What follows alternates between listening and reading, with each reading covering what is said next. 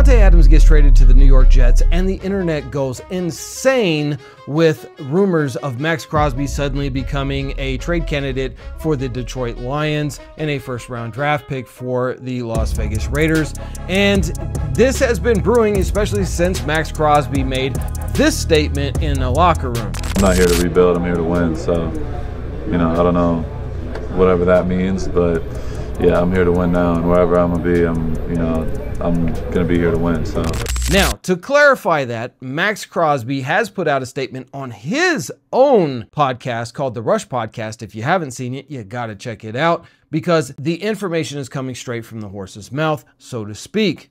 But before we get into that, I do just want to say, hey guys, we have made some fantastic progress at getting you to subscribe to the channel. We were at 67% of you watching that weren't subscribed. We're down to 65. That's progress. So let's celebrate and have the 65% of you who still haven't subscribed to the channel yet hit that subscribe button and the like button. And I tell you what, if this video gets a thousand likes and 500 comments saying draft 2025, I still got a prize to give away, so the first video that gets that, I will scroll through the comments, randomly select one of my subscribers, and do the prize giveaway. It's a mystery, you don't know what it's gonna be yet. I like to do it that way. However, I did just give away $500 worth of stuff this past Sunday, so you never know what you're gonna get here on the Raider D podcast. So hit that subscribe button, hit that like button, and comment down below, draft 2025. Now let's get into what Big Maxx Crosby had to say on his own Rush podcast and why the Raider Nation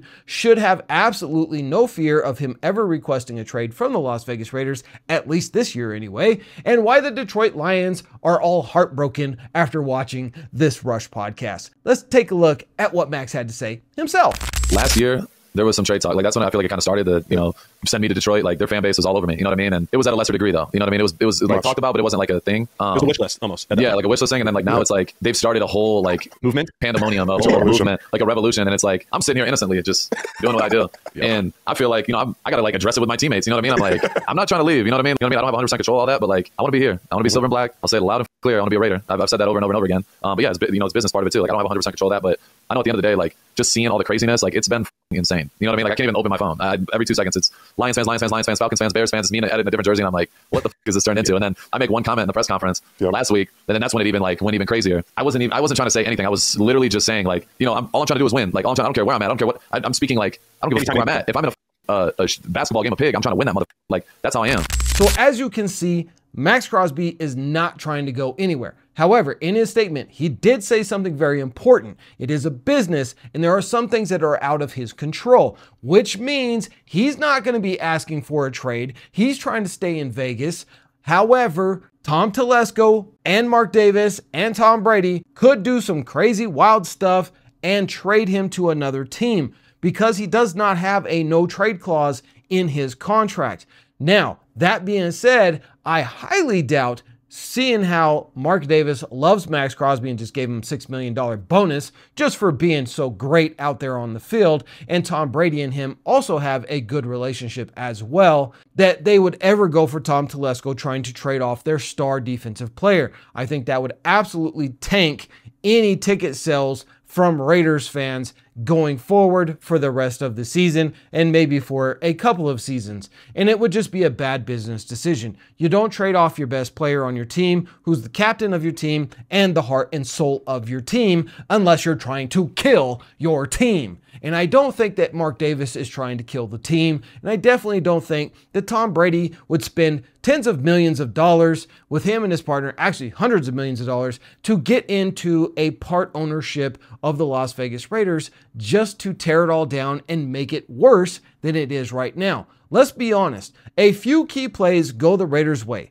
A few less key penalties are not thrown on the on the Raiders, and a few less interceptions, fumbles, and block punts, and the Raiders have a winning season this year. So the Raiders are not a bad team right now. We're not the Carolina Panthers right now. We're not the New England Patriots right now. We are better than those teams, but we have hurt ourselves in the games that we have lost. And part of that is due to the fact that Coach Antonio Pierce made a terrible decision to go with Gardner Minshew to start out the season. should have been Aidan O'Connell from the beginning, as I was saying.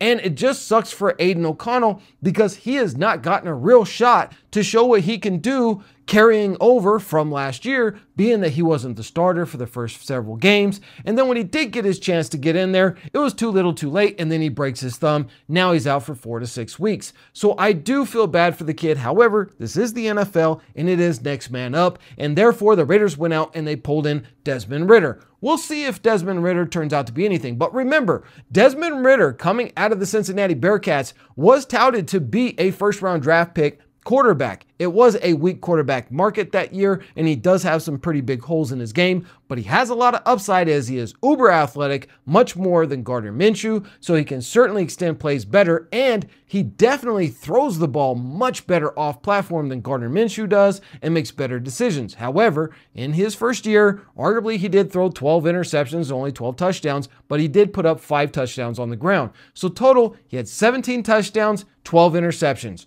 Gardner Minshew wasn't much better with 15 touchdowns and seven interceptions. So, that being said, I think Desmond Ridder has a real shot to not only stay on this team, but possibly become QB1 for at least the next several weeks to see until we know what Aidan O'Connell is going to be able to do once he comes back off of his thumb. I think this definitely spells disaster for Gardner Minshew, and he'll probably be off the team by the end of the year. And hopefully we can trade him and whoever we trade him to would take some of his salary.